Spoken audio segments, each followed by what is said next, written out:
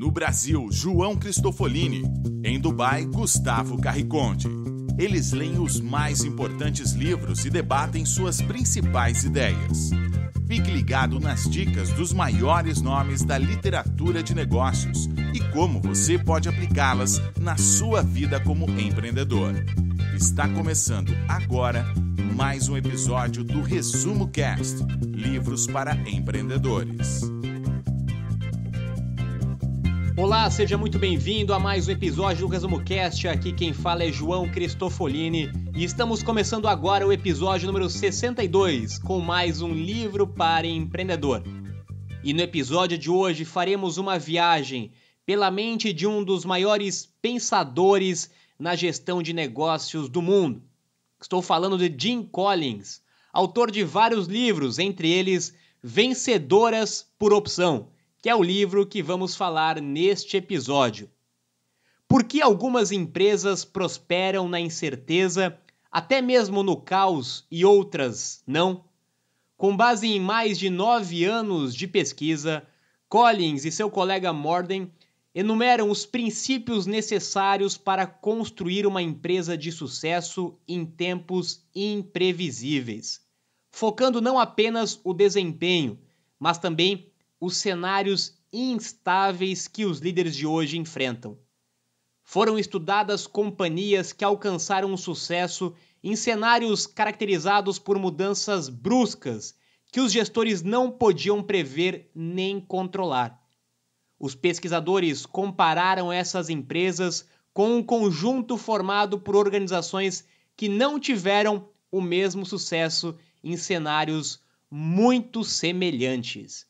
É, e o Jim Collins tem essa característica de ser um grande pesquisador. Ele pesquisa sobre diferentes empresas de sucesso, empresas que não tiveram sucesso, e de uma forma bastante analítica compara essas empresas. Ele escreveu e lançou em 95 o livro Feitas para Durar, que teve essa primeira provocação e reflexão depois de anos de pesquisa. Em seguida, lançou o livro Empresas Feitas para Vencer. E ainda intrigado como algumas empresas acabavam sucumbindo em momentos e períodos de crise, escreveu também Como as Gigantes Caem. Todos os livros, como eu comentei, baseados em muitas pesquisas, principalmente de grandes empresas, de grandes líderes, para entender por que, que de fato algumas têm sucesso, outras não? Por que, que algumas caem em momentos de crise, outras não? E nesse livro de hoje, Vencedoras por Opção, que em 2011 foi já eleito aí um dos livros de maior sucesso por vários sites especializados, o Collins é, faz mais uma vez uma nova pesquisa e conclui que vencer para as empresas é acima de tudo uma questão de opção. Sim, opção. Opção por disciplina.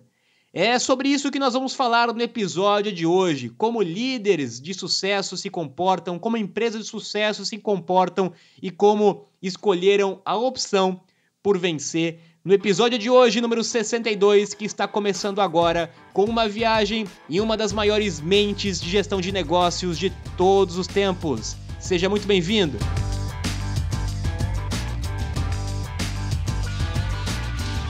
Eu sou Gustavo Carriconde, sejam bem-vindos ao episódio número 66 do Resumo Cast.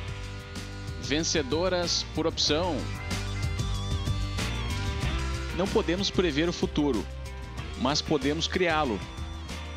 Jim Collins é o renomado autor de Empresas Feitas para Vencer, Feitas para Durar e Como as Gigantes Caem ele e a sua equipe analisaram um grande volume de dados para detectar padrões em empresas que se destacaram pelo menos 10 vezes mais do que as demais. O próprio livro descreve com grandes detalhes a metodologia que foi utilizada para chegar às suas conclusões. Vamos abordar algumas conclusões do livro nesse capítulo do Resumo Cast.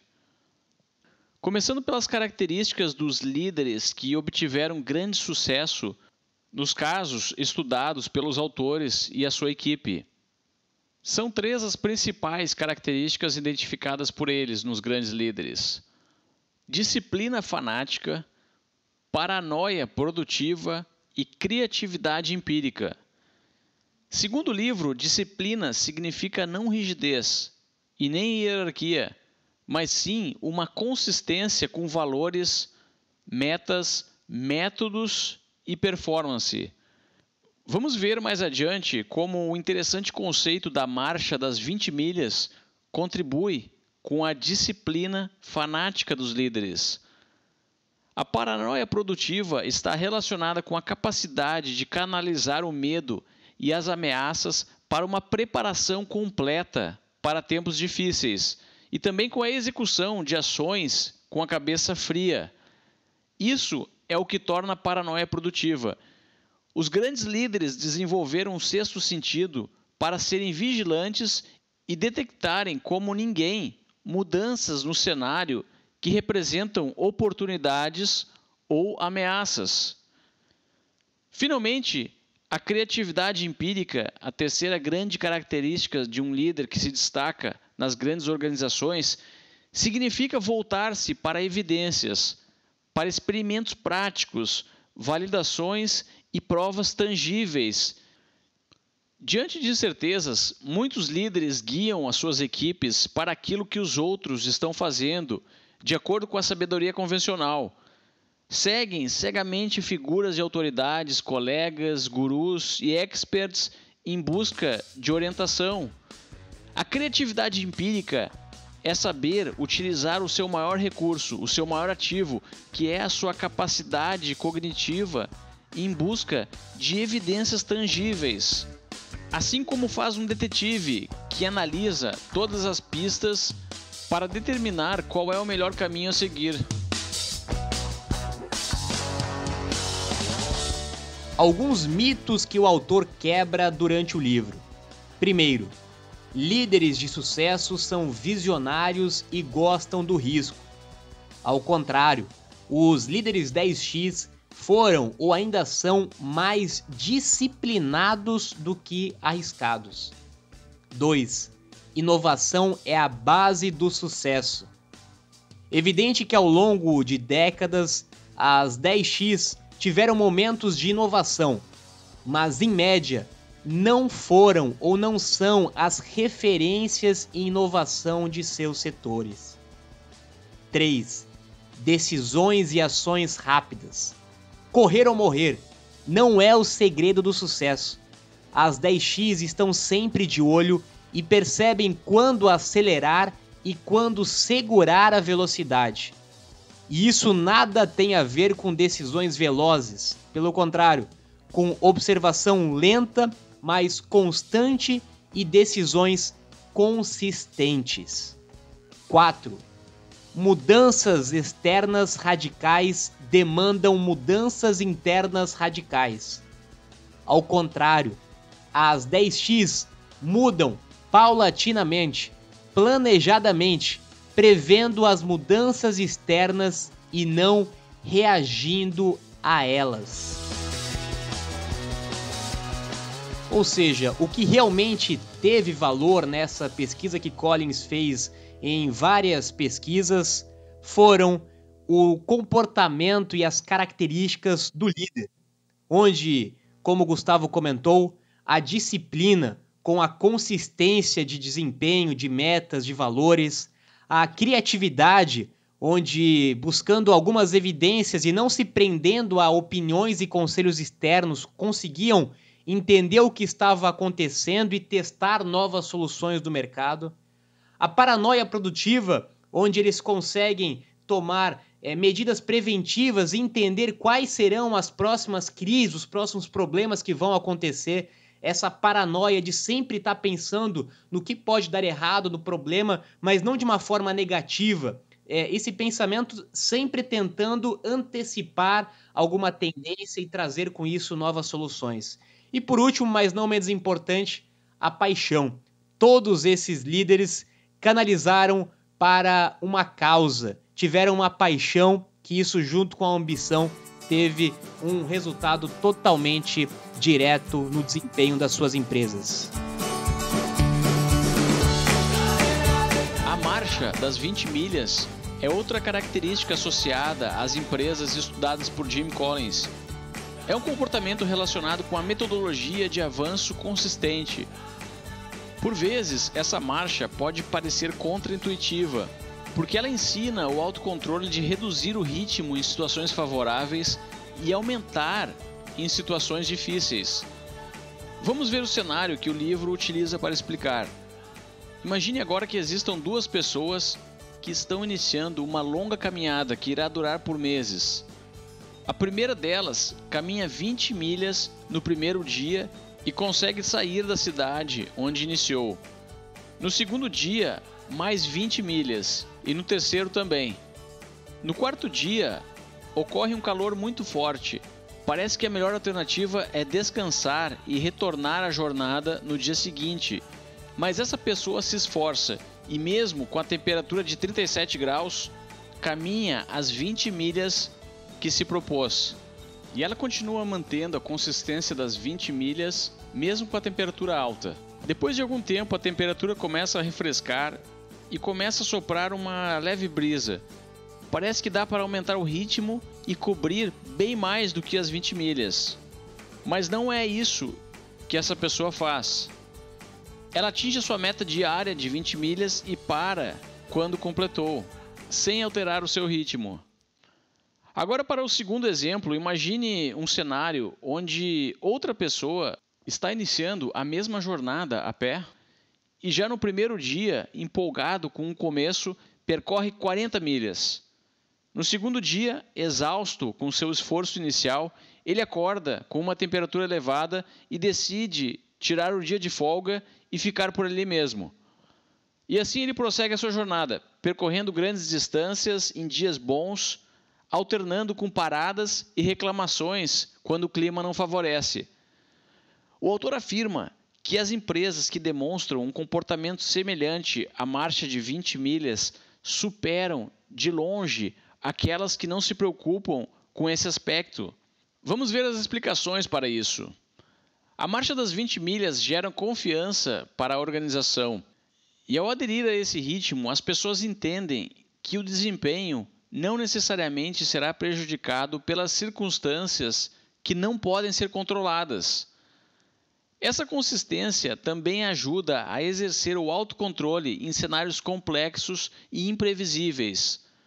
Além disso, uma boa marcha das 20 milhas utiliza métricas e metas claras para medir o desempenho e possui restrições autoimpostas pela própria organização, levando em consideração os recursos e o cenário presente. A marcha das 20 milhas é um mindset que pode ser aplicado não só em empresas, mas também em entidades não lucrativas, na sua vida pessoal, em algum cenário onde é preciso melhorar algum setor de, por exemplo, um órgão público e em muitos outros lugares.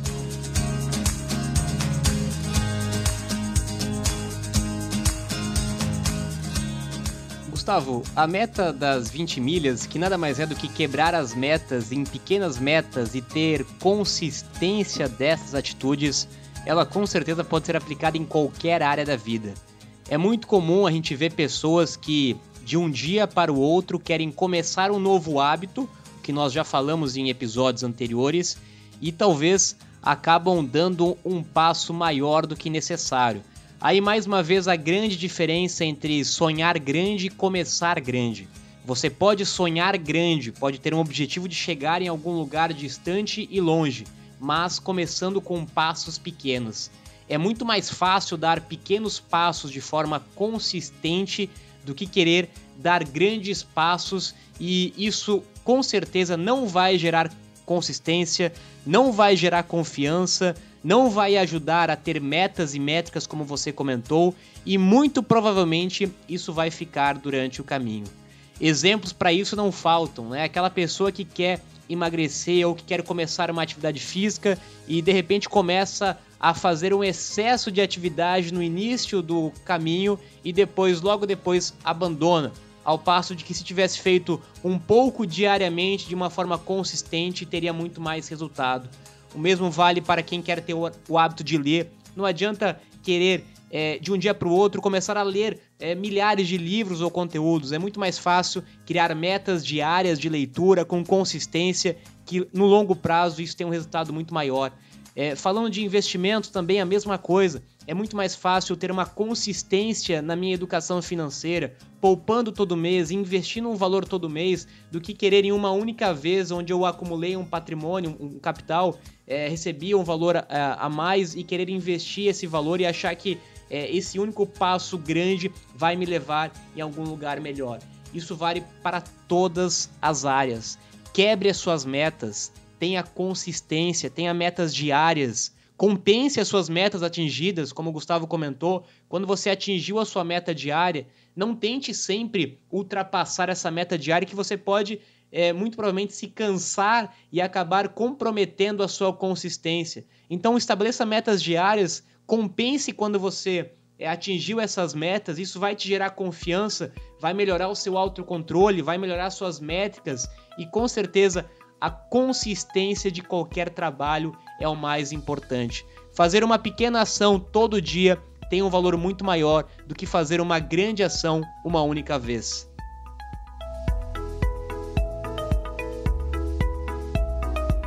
Primeiro, balas de revólver. Depois, a bala de canhão. Para explicar esse conceito, imagine-se que você está em um barco. Quando um navio inimigo se aproxima, você tem um canhão para se defender, mas com uma quantidade limitada de balas. Por isso, não seria bom desperdiçar as balas do canhão sem que o tiro fosse certeiro. Vamos analisar dois cenários comuns. O primeiro, você dá o tiro de canhão muito cedo e erra o alvo. E no segundo, fica tão amedrontado de errar o alvo que paralisa e espera demasiadamente até ser afundado pelo navio inimigo e nunca dispara bala de canhão. Pense em situações onde isso aconteceu na sua vida ou na vida de pessoas que você conhece. No mundo corporativo existem diversos exemplos que podem ser descritos nesses cenários. Agora imagine se você tivesse um revólver e antes de gastar a sua bala de canhão, você desce vários tiros de revólver até acertar o alvo. Agora, com os tiros do revólver, a sua mira está calibrada e você vai em frente e dispara a bala de canhão, que atinge o alvo em cheio e afunda o navio inimigo. A equipe de Collins identificou que as grandes organizações utilizam essa metodologia quando precisam implementar importantes decisões no entanto, sempre respeitam algumas regras, como as balas de revólver precisam ser de baixo custo, baixo risco e não proporcionam grande distração e consumo de recursos adicionais da equipe. A questão aqui é não limitar as suas apostas, mas sim apostar alto e ao mesmo tempo reduzir as chances de perda. Gustavo, esse conceito novamente pode ser aplicado em diferentes áreas da vida pessoal, empresas pequenas, startups, em diferentes circunstâncias, esse conceito é válido.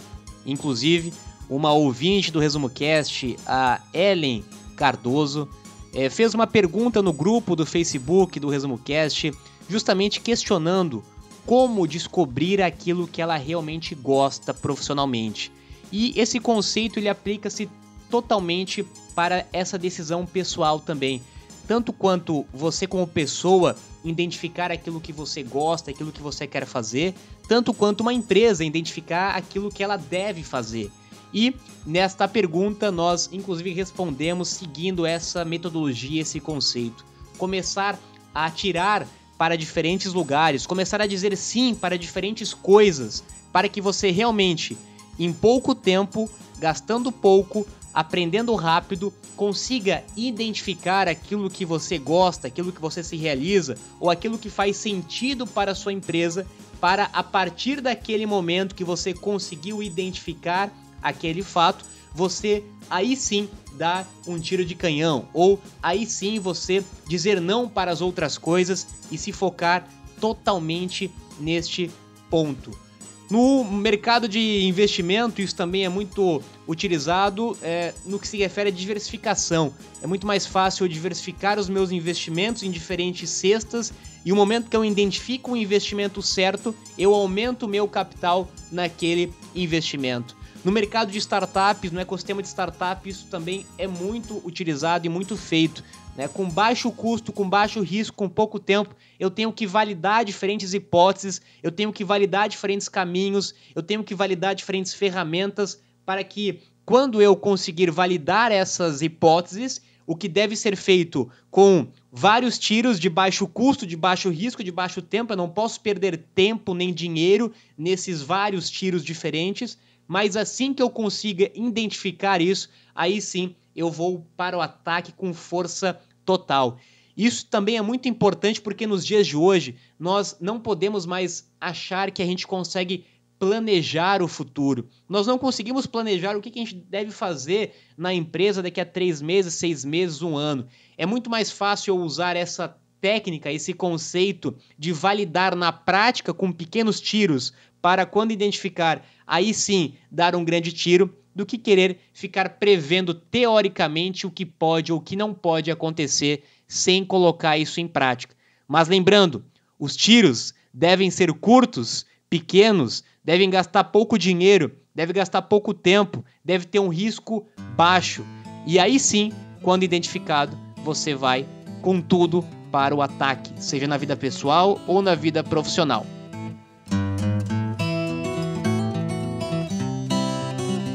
Retorno sobre a sorte. Existe um grande mito de que os grandes casos de sucesso só foram possíveis porque contaram com a sorte. O livro introduz o conceito de retorno sobre a sorte, que pode ser tão interessante quanto o conceito de retorno sobre investimento e outros tipos de retornos. Segundo o enorme volume de dados analisados pela equipe de Collins, tanto as empresas de sucesso como outras que não se saíram tão bem foram expostas a episódios de sorte e episódios de azar. No caso dos episódios de azar, por serem mais resilientes e praticarem tudo o que já vimos até agora, conseguiram resistir e recuperar-se com mais rapidez.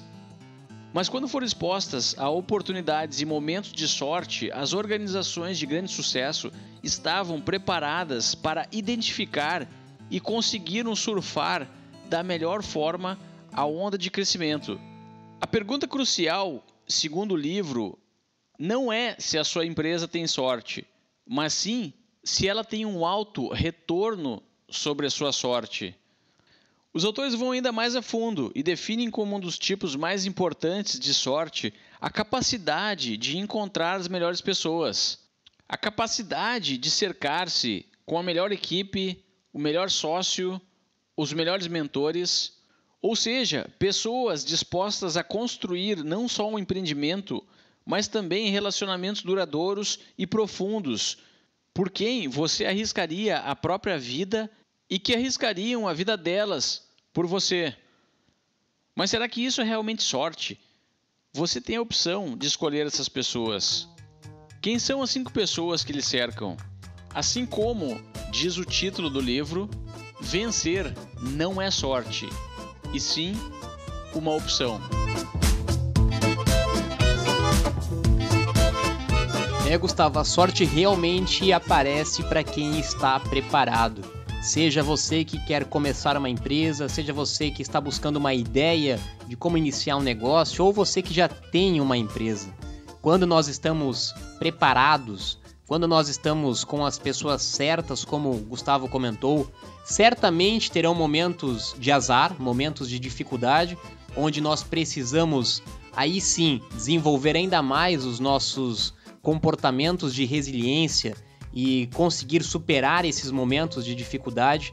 Assim como quando aparecerem oportunidades, nós temos que estar preparados para agarrar essas oportunidades, para agarrar essas ideias. Certamente você já teve a experiência ou conhece alguém que passou pela experiência de ver alguém começar um negócio, uma empresa com aquela ideia que você em algum momento já teve. Ou seja, a ideia estava disponível no universo. Você teve a sorte de receber ou de se conectar ou de encontrar essa ideia, mas talvez não estava preparado naquele momento com as pessoas certas, com as ferramentas certas para executar essa ideia. o que não quer dizer que você tem azar, né? Muito pelo contrário. O que o autor quer dizer é justamente isso. Todas as empresas ou todas as pessoas têm momentos de sorte e momentos de azar. A diferença não está em ter mais sorte ou menos sorte. A diferença está na capacidade de conseguir é, se desenvolver nesses diferentes períodos e momentos de sorte ou azar. E para isso, logicamente que estar com as pessoas certas é fundamental. Em algum, acho que foi o primeiro livro do Jim Collins, é, onde ele fala muito sobre colocar as pessoas certas no barco. Antes de você querer resolver algum problema, antes de você querer começar um negócio, desenvolver uma ideia, a primeira coisa que você deve fazer é achar as pessoas certas, ou o que ele chama colocar as pessoas certas dentro do barco para depois que as pessoas certas estiverem dentro do barco, aí sim definir as estratégias que podem ser feitas para é, ultrapassar momentos de azar ou de sorte, para começar uma, uma empresa, para desenvolver uma ideia ou para resolver um problema dentro de uma empresa que já existe. Pessoas certas no barco em primeiro lugar e depois as estratégias são desenvolvidas com base nessa equipe diversificada e qualificada que você encontrar. Livro é repleto de conselhos e ideias práticas que podem ser incorporadas ao repertório de qualquer empreendedor. Jim Collins e a sua equipe são conhecidos por analisar um grande volume de informações e por conseguirem chegar a conclusões muito próximas da realidade sobre aquilo que funciona e aquilo que não funciona.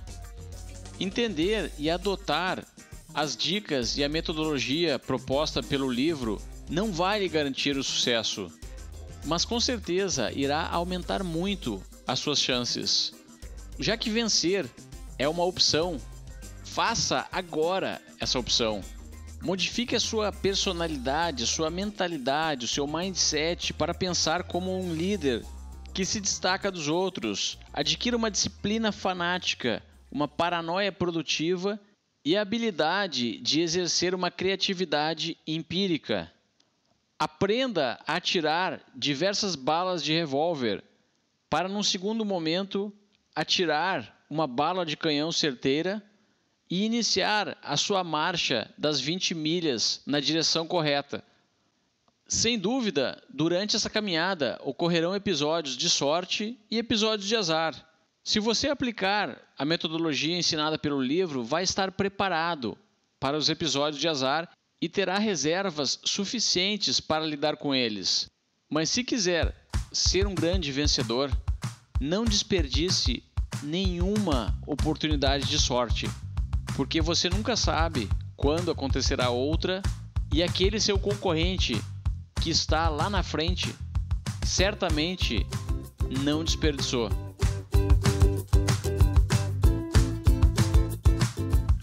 Outra grande lição que nós podemos tirar do Collins, de uma forma proporcional, logicamente, é começar a aprender e a estudar sobre diferentes empresas, empresários, líderes que tiveram sucesso ou tiveram fracasso. Quando nós estudamos sobre empresas de sucesso, assim como Collins faz, e quando nós estudamos sobre empresas de fracasso, assim como Collins também faz, nós conseguimos claramente entender as diferenças de comportamento entre um e outro, as diferenças de estratégias entre um e outro, as diferenças de atitudes entre um e outro. Logicamente que, como nós sempre falamos aqui no ResumoCast, empreendedorismo não é uma ciência exata. O que funcionou para alguém pode ser que não funcione para você e vice-versa. Mas quando nós estudamos e entendemos através de diferentes livros ou aqui no ResumoCast, diferentes podcasts, nós entendemos diferenças cruciais entre algumas empresas e entre alguns empreendedores. E entendendo essas diferenças, fica muito mais fácil para a gente conseguir colocar em prática na nossa vida, no nosso negócio, no nosso projeto.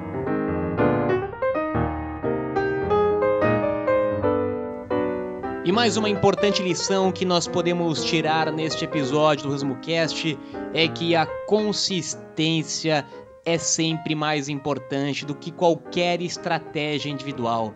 Disciplina, consistência, trabalho de longo prazo, tentar coisas diferentes, errar, atirar para diferentes lugares até encontrar aquilo que você realmente quer, precisa, ou seu negócio precisa, dar pequenos passos até encontrar ou alcançar o seu objetivo e estar preparado com as pessoas certas para, nos momentos oportunos, aproveitar as oportunidades ou se manter nos momentos de crise. Novamente, não existe uma fórmula para o sucesso, não existe uma receita para o sucesso. Nós vemos aqui através do Collins, um dos maiores estudiosos e pesquisadores do mundo da gestão, como essas habilidades e esses comportamentos é, talvez simples que realmente fazem a diferença na vida das empresas, mas que muitas vezes são difíceis de serem colocados em prática porque envolvem novamente muita disciplina, muita consistência e um trabalho de longo prazo. Mas certamente com vontade, com persistência, com dedicação e com consistência, qualquer pessoa pode, pelo menos, seguir estes passos, esses caminhos e estar muito mais perto de conseguir chegar no resultado final. E com isso, eu me despeço aqui de Balneário Camboriú, Santa Catarina, para mais um episódio do Resumo Cast. Vamos então ficando por aqui. Por hoje, episódio 62 do Resumo Cast vai acabando.